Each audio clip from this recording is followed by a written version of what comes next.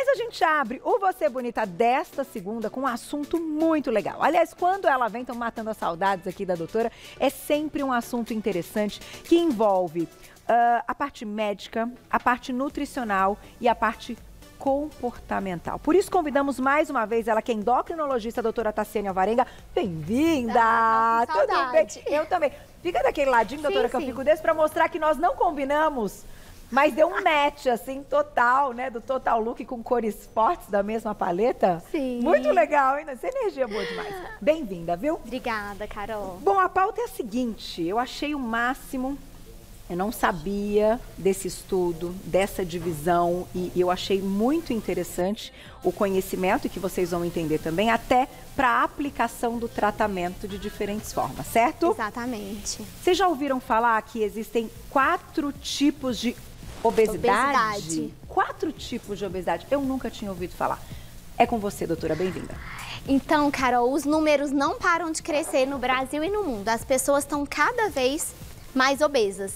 E eu trouxe aqui para estimular a pessoa que nos assiste, que está vivenciando essa luta contra a balança, para tentar identificar qual que é o tipo de obesidade, qual que é o tipo de comportamento Tá. que está levando a esse ganho de peso. Tem algum estudo ah, que dividiu dessa forma, que a gente tem aqui a dinâmica, ou o estudo foi além e ele apenas dividiu para o tratamento e ver que tipo de tratamento daria certo para cada tipo de obesidade? O estudo, ele avaliou 314 pacientes com obesidade e ele tentou avaliar se ele dividisse esses pacientes em quatro grupos e fizesse um tratamento mais personalizado, Tá. mais focado nessas particularidades, se ele seria mais efetivo, Entendi. tanto em termos de comportamento Tá. quanto de medicações. Perfeito. Por qual que você quer começar então para a gente contar um a um? Posso começar com o cérebro Claro. faminto? Vamos lá, cérebro aqui, ó. Olha só, antes de falar sobre o cérebro faminto, eu preciso de apresentar um conceito que é a saciação, Certo. que é diferente de saciedade. Então, o que que é a saciação? É o tempo que a pessoa leva para se sentir satisfeita a partir do momento que ela começou a comer. Tá. Então, tem gente que vai lá, montou um prato, ela começa a comer e ela precisa de muito para que a saciação seja atingida. Então, Tá. ela precisa de um pratão. Ela precisa montar um pratão. Um pratão, um pratão. E às vezes, muitas vezes, repetir. Tá. Então, nós chamamos essa pessoa de cérebro faminto, de hiperfage, que ela precisa de grandes quantidades para conseguir parar de comer, para falar, opa, chegou ali. Mesmo que ela coma devagar, usando outras alternativas, é, né, ali com, com, com a questão da água antes ou com a água depois, que também Isso. aumenta, né, esse, esse espaço. Ela, continua tem essa comendo. necessidade maior do que outras pessoas. Tá. Então, para esse tipo de pessoa, é exatamente isso que você falou. Ela pode usar algumas estratégias.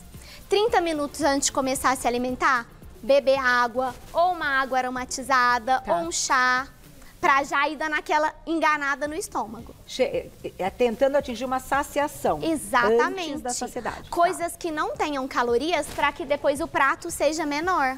Entendi. Uma outra dica para esse padrão de pessoas é que ela coma muita salada antes, salada de baixas calorias, Tá. para depois passar para o prato principal, ou um caldo de legumes, porque aí vai dar aquela enganada no estômago para depois vir a refeição que realmente tem calorias. Entendi. Então essa é uma dica para o cérebro faminto. Muitas vezes, Carol, são aquelas pessoas que fazem duas refeições por dia, só almoça e janta, mas é muita caloria de uma vez só, tá mal distribuído. Entendi.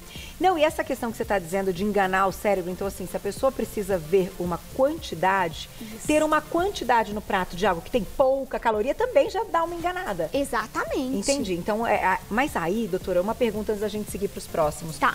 Como é que a pessoa que está em casa, né, quem está nos assistindo, vai conseguir se identificar com cada um deles? Tem algum exercício que, que deve ser feito? Sim. Avalie o número de refeições. Tá. Então tem essa pessoa, ela não é de ficar beliscando o dia todo. Ela faz poucas refeições, mas ela é muito grandiosa, ela é muito calórica, ela chega com tanta fome que às vezes ela nem sente o sabor, ela vai atropelando. Por isso essa dica da água 30 minutos antes ou da água aromatizada, de um caldo de legumes ali para dar uma tapeada, da salada antes. Não é todo mundo que tem que comer salada antes. Entendi. Tem gente que gosta de comer misturado. para esse tipo de pessoa, então pense, você, quantas refeições você faz por dia? É aquele pratão que todo mundo parece que até te olha na hora É, que você é. monta? Você é o cérebro faminto. Certo. E se essa pessoa, dentro do tratamento, ela for precisar de uma medicação, existem duas medicações que são mais indicadas, aprovadas pela Sociedade Brasileira de, de Endocrinologia, que é a sibutramina Tá. e off-label, que a gente fala que não tem indicação de bula, é o topiramato. Então eu acredito muito que conhecimento é poder. Quem nos assiste e que está vivendo aí esse dilema pode pensar: quem sou eu para ajudar o médico a encontrar o melhor tratamento? Sem dúvida. Então vamos aproveitar que você já está falando do tratamento de cada um. Sim. Ah, o primeiro medicamento que você comentou é um que age No cérebro. no cérebro diretamente. Exatamente. Para dar saciedade? pra, pra não é para dar, é para diminuir a fome. Tá. É para essa pessoa ela chegar para comer e não precisar daquela quantidade para atingir a saciação. Certo. E o outro medicamento? Que é o topiramato. O topiramato também é para isso. Ele age lá no cérebro e ele inibe as vias da gula, mais do que da fome. Que coisa. Então é essa combinação que é especial para esse tipo do cérebro faminto. Associada às diquinhas de comportamento durante Total. o dia. Remédio não emagrece, Uhum. Carol. Remédio ajuda nesse processo de mudanças de comportamento. Perfeito. Vamos seguir pro próximo? Vamos. Se você ainda quer falar Po- mais alguma coisa aqui. Não, tá ótimo. Agora eu queria pular pro estômago e intestino faminto, pode ser? Pode, é esse aqui? Sim. O estômago e aquele. intestino. Aí. Esse. Esse. O estômago e intestino faminto já é diferente. É aquele padrão que ele fica lambiscando. Tá. Então, ele tem um tempo muito pequeno entre acabar de comer e ter fome de novo. Ele até come pouco, não é pratão. Mas passa uma, duas horas, parece que o estômago já esvazia ali no intestino e a o estômago já começa a roncar de novo. E isso acontece por algum motivo? É fisiológico daquele fisioló- corpo? Exatamente, é aquele padrão. Às vezes é a pessoa que acostumou na infância a ficar beliscando, Beliscando. muito. Aham. A de três em três horas, ela foi treinada que ela é obrigada a comer mesmo sem fome. Entendi. Então é diferente. Aí já é a saciedade dessa pessoa que é comprometida. Certo. Passa- ela se alimentou, passa uma hora, já quer comer de novo. Então, para esse tipo de pessoas, se indica muitas fibras na comida. Para essas fibras dar uma sensação de saciedade Tá. e ela ficar durante mais tempo sem querer comer de novo. Doutora, aproveito para te perguntar, até desses dois padrões que a gente já apresentou, o primeiro aqui do cérebro e, e o segundo. Sim. Onde a atividade física entra como suporte? em todos os padrões alimentares. Tá. Nós vamos mostrar que nesse estudo, independente do padrão, eles, eles tinham a recomendação de atividade física cinco vezes por semana Tá. e mil passos por dia. Entendi.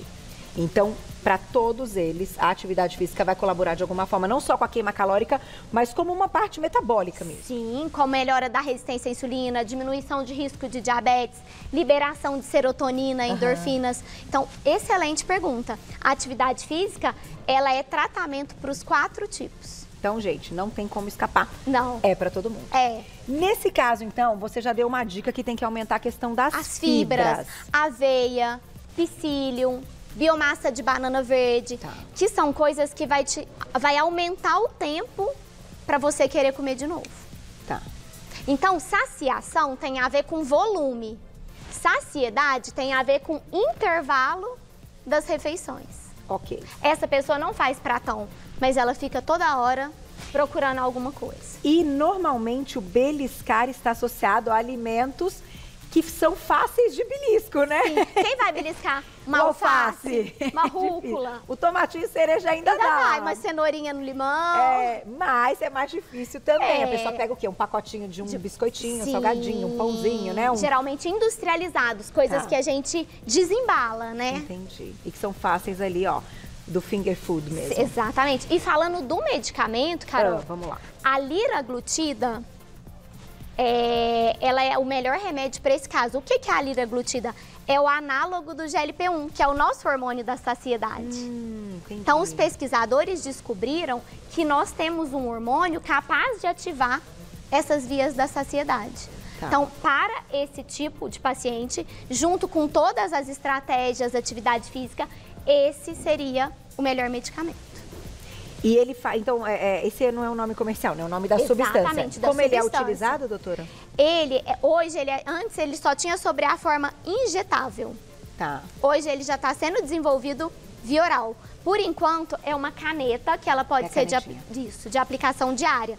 Ah, essa caneta vai fazer um milagre? Não. Não. Essa caneta vai te deixar mais saciado para que você tenha mais inteligência na hora de fazer as suas refeições, para que você não fique lambiscando por hábito.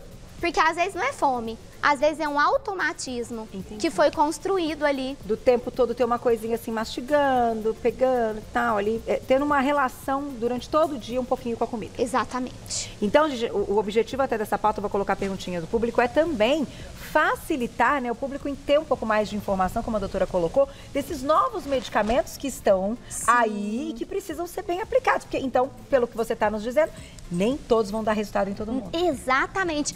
Muitas vezes você usa remédio da amiga, né? Do vizinho. Pois é. Ai, eu ouvi e, dizer que aquele lá negócio é bom, vamos lá. E será que ele é bom pra você? Será que ele é bom pro seu tipo de de comportamento e todo o remédio, né, Carol? Sempre num plano de emagrecimento, sempre com responsabilidade e prescrição médica. Concordo com você. Perguntinha do público, aproveitem que estamos ao vivo. Falei que era imperdível hoje. Beijo, Jane, um beijo para você. Quando o treino da fome é normal? Ai, ai, ai, essa pergunta é boa. A gente vai falar daqui a pouquinho. Oi, vamos lá, deixamos uma pergunta, doutor. E aí, quando o treino da fome é normal? Jane perguntou. Pior que é super normal. Você gasta mais calorias e o seu corpo, ele quer comida, ele quer repor aquele gasto. Sim, então, sim. realmente, treinar aumenta o metabolismo, que a gente vai conversar sobre esse padrão, mas treinar também aumenta a fome. Agora, a gente que vai decidir com o que, que a gente vai matar é. essa fome. Às vezes pode confundir um pouquinho com desidratação, essa sim, questão da fome? Sim. No hipotálamo, Carol, nós temos o centro da fome e o da sede. Então eu vou até dar uma dica depois nos 4Ds, que uma das dicas, toda vez que você tá com fome, uh. beba água. Tá. Espera tá dois minutos para ver, será que o hipotálamo tá confundindo fome e sede? No treino a gente desidrata. Sim. Será que é tudo fome? Pode ser uma parcela que seja fome e outra uhum. que seja sede. Então vamos beber água primeiro. Perfeito. Então, outra dica da doutora. Sentiu fome? Bebe água, espera dois minutos e reavalie. Reavalie. A maioria das vezes não vai passar, não mas é. pode ter vezes que passa. Sem dúvida. A gente falou, acho que todos já deixamos bem completinho esse grupo. Falamos já já tem mais dois. perguntinhas, Glaucia. Vamos para mais uma? Vamos para mais uma antes do próximo grupo, olha lá. Fran, um beijo, obrigada. Eu era o perfil cérebro faminto, precisava de grandes quantidades. Há mais de um ano sou bariátrica, mudei de hábitos, eliminei 45 quilos, parabéns, Fran. Hoje me sinto o perfil estômago faminto, pois como bem pouco e em meia hora estou com fome novamente. No meu caso, preciso ter atenção a isso ou faz parte do meu novo estômago? Olha que pergunta Olha... super legal e parabéns, hein, Fran? Inteligente. É. Olha o que, que acontece, que foi o caso da Fran. Quando nós fazemos uma cirurgia bariátrica, um dos principais mecanismos da perda de peso é o aumento do GLP-1. Tá. Então, por toda aquela mudança no intestino, o hormônio da saciedade aumenta. E ao longo dos anos, ele volta a cair. Entendi. Por isso que ela está começando a ter é, ficar pouco tempo saciada, né? Come, passa um, tempo, um pouquinho já quer comer de novo. E é uma das indicações do análogo de GLP-1. Para pacientes que fizeram a cirurgia bariátrica, foram muito bem e estão agora reganhando o peso, o peso perdido. Entendi. Se ela não tiver esse reganho, tudo bem. Tudo mas se bem. ela sentir que tem, de repente, o uso do, do, do medicamento pode ajudar. Exatamente, exatamente. Talvez ela esteja comendo mais e gastando mais e tá no zero no a zero. zero. Excelente, não precisa. Agora, se esse reganho começar a ocorrer, é um sinal de alerta.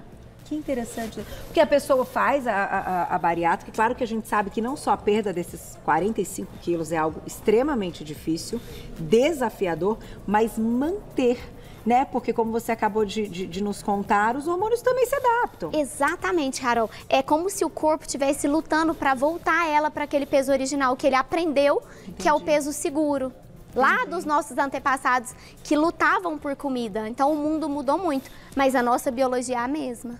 Então o ideal é que ela faça o acompanhamento e perceba se está ganhando peso ou se está conseguindo ficar queimar. no zero a zero. Tá aí. Mas lembra das dicas então, Fran? Muita fibra? Muita fibra, água. água. Né? Tá com fome? Água, espera dois minutos. E eu vou dar mais uma dica depois disso, Carol. Já, já. Já, já tem mais dicas, mas a gente vai pro próximo grupo. Quer falar desse ou quer deixar por último? Pode ser, pode ser. Vamos lá. O fome emocional, por que, que eu gosto muito de falar dele? Muitas vezes a pessoa não é um, um padrão único. Pode haver uma mistura. Uhum. Ela pode ser cérebro faminto com um pouco de fome emocional. O que, que é a fome emocional? É o descontar emoções na comida. Tá.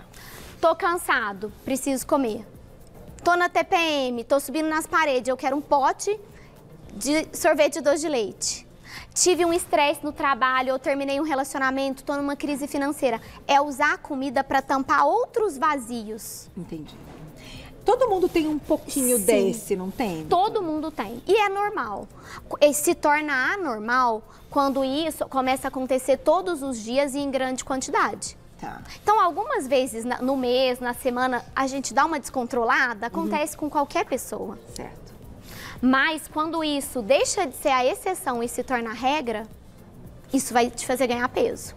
E é o que você falou, são alimentos com muito açúcar, muita gordura, que trazem outros prejuízos para a saúde além do peso. Sim, e dão muito prazer. Muito prazer. Então, para esse grupo, eu costumo indicar os 4 Ds, que é a técnica que eu ia te falar dos 4 Ds. Vamos lá. Primeiro D, drink water, beba água, que é a técnica da água. Tá bom. Segundo D, deep breathing, respire fundo. Então, são três respirações.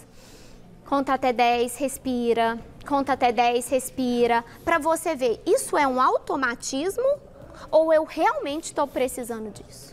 Você faz uma pausa, se foca em outra coisa. Exatamente. Para fugir daquilo que está querendo o prazer da comida. Prazer da comida. Prazer. Perfeito, perfeito. Tá.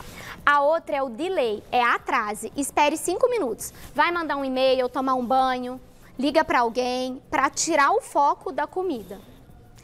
E o outro D é do something, é faça alguma coisa, vai arrumar um armário, é, vai fazer alguma tarefa para desviar a atenção do cérebro. Pode ser que não adiante que você vai devorar o chocolate do mesmo jeito, mas você vai treinando o seu cérebro através de técnicas de comportamento a não ir tão no automático. E buscar novas fontes de prazer, doutora? Que, Isso. claro, assim, é, às vezes a gente tem X problema e que problemas que né, martelam ali, que a gente sabe que são sérios, que a gente precisa resolver, mas até que ponto, então, é, enfim, encontrar outras Outra, formas de prazer? No, é, é o do Samsung, é, por exemplo, vai dançar, ou vai escutar uma música que você gosta, ou vai praticar um esporte. Uhum. Aí cada pessoa tem a sua, sua é. fonte de prazer, né? É difícil isso. eu escolher pelo meu paciente. Uhum. Mas você tem toda a razão, é exatamente isso. É tira o foco e vê. Isso é necessário? É um automatismo? Vale as calorias? Às vezes vale. Uhum. Mas nem toda vez vale. Vale. Entendi. Avaliar. Avaliar. Tá. Trazer para o racional e não para o automático. E medicamento para esse grupo? Medicamento para esse grupo, que foi aprovado no final do ano passado e que está chegando no Brasil, é a associação de bupropiona com naltrexona. Tudo isso, Carol, é o nome das substâncias, tá? okay. tá? Então, essas medicações, elas atuam na dopamina, evitando esse mecanismo de buscar é, uma fuga na comida, tá. minimizando essa sensação de vício, uhum. de recompensa. Esses medicamentos, essas substâncias, é, são também encontradas em remédios uh, para depressão? Pode estar associado? Pode estar associado. Pode. A tá. bupropiona, ela foi aprovada agora para a fome emocional uhum. nos pacientes com diagnóstico de obesidade tá. e ela também tem um efeito antidepressivo de hum. aumentar no nosso cérebro a serotonina e a noradrenalina, porque aí como você falou, às vezes isso vai dar um prazer Entendi. e não vai ser tudo descontado na comida. na comida. Olha que inteligente gente, né? Não é, e eu acho que a gente tem que ter, tem que ter muita, né, muita informação e usar com inteligência, porque os medicamentos estão aí bem indicados, eles sim, salvam vidas, né? Sim. Assim, doutora, assim como todos, né? Pensando em outras patologias, né? Totalmente. Eles estão aí para isso. Totalmente. Vamos colocar a perguntinha do público e a gente já vai finalizar com o último tipo de obesidade. Essa é da Silvana, obrigada, um beijo. O hipotiroidismo contribui para que tipo de fome? Todo mundo gosta de culpar a tireoide, coitada da tireoide. Uhum. O hipotireoidismo, ele contribui para o último que a gente vai explicar. Tá. O que, que ele faz, Carol? Ele diminui o metabolismo. Então é como se a taxa metabólica, a capacidade de queimar calorias daquela pessoa, ela ficasse mais lenta. certo. que é o nosso último grupo. Posso aproveitar para explicá-lo? Vamos lá. É, eu coloquei para simbolizar uma, um Fusca e uma Ferrari. Tá. Mas, gente, o hipotireoidismo, ele diminui o metabolismo de uma forma pequena. Ele pode levar um ganho de 2 a 3 quilos, porque ele deixa o corpo mais fusquinha, Entendi. mais lento para queimar calorias. Tá. Mas é 2 a 3 quilos. Eu recebo pacientes que ganharam 30 quilos e acreditam que é exclusivamente por causa da tireoide. Entendi. Tem muitos outros, né? O buraco é mais fundo, o iceberg é mais complexo. São outros comportamentos e não é só a tireoide. Claro, claro. Né? Agora, nesse caso que você está tá, tá citando, então, o nome desse tipo é, é metabolismo e, lento. Esse tipo é o metabolismo lento. Uh, a questão da tireoide é apenas uma das causas, mas tem outras. Exatamente. O metabolismo lento, Carol, ele pode ser da idade. Então, a pessoa que ela sempre foi magra, ela foi envelhecendo e começou a ganhar peso. Tá. Porque com a idade esse metabolismo diminuiu. Diminui. Uhum. Pode ser por causa da menopausa que é uma época que a taxa metabólica cai muito, mas pode ser por causa da genética, que é aquela pessoa que desde muito cedo ela não come tanto para engordar tanto. Entendi.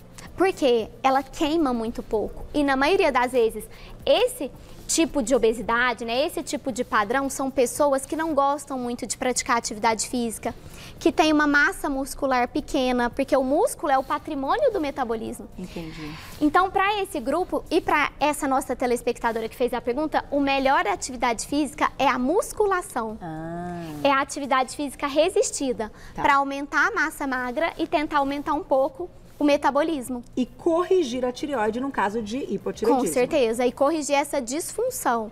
Mas como você disse, não é só o hipotireoidismo que é o metabolismo lento. O envelhecimento, as pessoas, a genética, tá.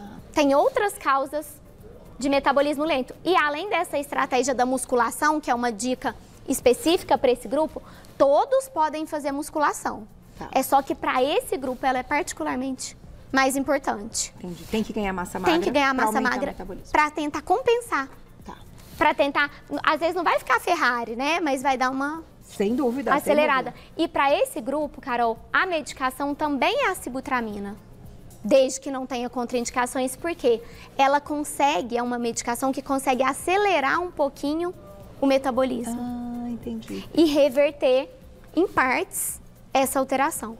Mas lembrando que no estudo, todos os pacientes, alimentação de baixas calorias, eles eram orientados a não tomar suco, refrigerante, caloria líquida. Ah, caloria mesmo líquida, suco não. natural. Tá. Porque é uma coisa que tem incorpora... frutose, né? Exatamente. Uhum, uhum. atividade física, muitos passos por dia. Atividade física não é só aquela programada, é se mexer, andar de escada, parar o carro mais longe. Entendi. Então, para todos os grupos é indicado uma reestruturação, um novo estilo de vida.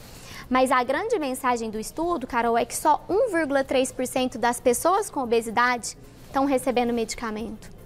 E para a pressão, para o diabetes, esse número é muito maior. Então, é chamar a atenção, um olhar para esses nossos pacientes poderem ter a chance de escrever uma nova história e mudar esses números. E eu acho, vou fechar com perguntinha do público, que é, devem ter muitos motivos para isso. Uh, o fato, muitas vezes, das pessoas terem uma certa insegurança quando recebem uma indicação do médico do uso do medicamento certo? A gente sabe que isso acontece. Um estigma, né, cara? Fala, não, eu vou tomar remédio, não, calma, né? E se bem indicado, ele funciona. E eu acho até que a gente tem uma tecnologia e medicamentos novos que talvez nem todos os médicos sejam tão aptos assim para receitar e para ter esse tipo de conversa com o paciente e de forma muito certeira, né, assertiva, é, orientar e, e, prescrever. Empoderar, não né? é? Então, Precisamos mudar, concordo com você, doutora.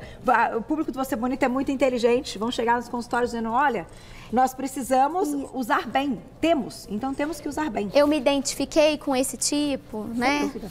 Vou fechar com perguntinha do público. Grande assunto hoje da doutora. Olha lá quem escreveu pra gente na tela. Sônia, obrigada. Um beijo pra você. Vou fazer cirurgia de vesícula. Fiz regime e perdi 8 quilos. O metabolismo muda após a cirurgia? Não muda. O metabolismo não muda a vesícula em relação ao peso, não faz diferença nenhuma. Agora, os 8 quilos que ela perdeu faz. Porque a cada quilo que ela perdeu, a fome aumentou 100 calorias hum. e o metabolismo diminui 30. Então Entendi. ela tem que lutar muito, porque ela foi uma vitoriosa, né? Perdeu 8 quilos. Agora, como vai ser daqui para frente? São as estratégias para Manutenção. Pra não ganhar de volta esses 8 quilos. Exatamente. Muito bom. Dá tempo de mais uma, Glaucia? Na tela. Silvia, obrigada, um beijo. Depois de identificar o tipo de fome, eu consigo comprar esses medicamentos sem receita? Ai, Olha, Pode, Silvia. Você pode até conseguir, mas você não deve fazer isso. Porque toda medicação tem efeitos colaterais. O médico vai ser um parceiro ali, um técnico do Uhum. seu lado, que o, o tratamento não é só o remédio, então não faça isso. Eu acho também, gente, bobagem, vai gastar dinheiro à toa. Porque depois passar mal, aí para. Exatamente. Aí fala, nossa, mas eu gastei aí, a gente sabe que não é barato, né? O custo-benefício não vale a pena e a nossa saúde é nosso maior patrimônio, É não isso vale arriscar. Faz tudo direitinho que dá certo. Depoimento na tela, vamos ler quem escreveu pra gente? Olha lá. Maria, um beijo, obrigada. Eu tenho compulsão alimentar, passo na nutricionista, mas não perco peso mesmo fazendo crossfit.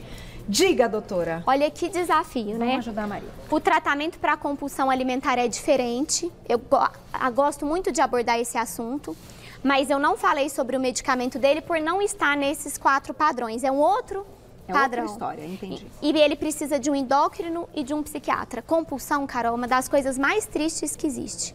É aquela perda de controle em relação à comida. É como se a comida fosse uma droga ou um álcool. Então é preciso um tratamento multiprofissional mais complexo para que ela vença essa batalha. E, e até ela cita ali do crossfit, é, também fica aquilo para a gente avaliar, né? Se de fato as atividades que a gente se propõe queimam as calorias que a gente precisa, Sim.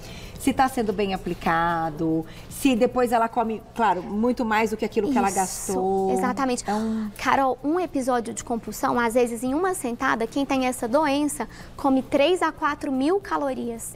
Entendi. Imagina quantos treinos de crossfit. Então ela precisa de um tratamento é, mais profundo, mais complexo. Mas você pode voltar com esse assunto. É, legal. Combinado, doutora? Combinado. Se você volta, de repente, se você quiser trazer Sim. é, algum psiquiatra pra gente fazer de uma forma também Ai, que completa, legal. acho que a gente vai ajudar muito. Sim. Obrigada mais uma Eu vez. te agradeço, Tava com Carol, saudades dela, mineirinha. Doutora Tassiane Alvarenga, ela que hoje nos contou sobre os quatro tipos de obesidade, uma pauta bem completa. Depois compartilhem lá no YouTube, que quanto mais gente assistir, tiver aí, né, esse clique de poder procurar um médico dessa forma, vai ser super bacana. Lá no Instagram, doutora Conta Mais, no arroba Tássia Alvarenga, tudo junto, arroba Tássia Alvarenga, tudo junto, com o trabalho dela. Beijo na Tassiane. neném. Tassiane, desculpa. Imagina, imagina. Tassiane Alvarenga. É, eu ia falar beijo na neném. É, Ah, da próxima vez você obrigada. traz ela pra eu ver. Arroba Tassiane Alvarenga, tudo junto. Obrigada, Obrigada, Carol. sempre um prazer. Até a próxima. Obrigada.